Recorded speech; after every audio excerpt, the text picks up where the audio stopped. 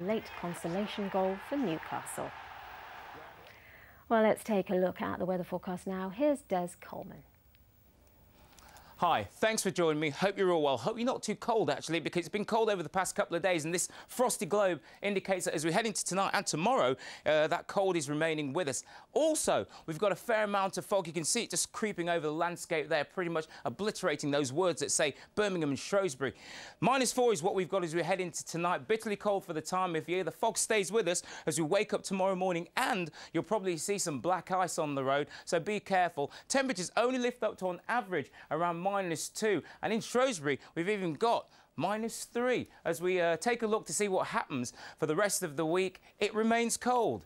Take and don't forget, you can find out more details of the weather and travel news in your area on your BBC local radio station's breakfast show tomorrow morning with updates every 15 minutes. Well, that's it from the weekend team. On tomorrow's Midlands Today, we'll be hearing from the firefighter who pulled a pilot to safety and rescue.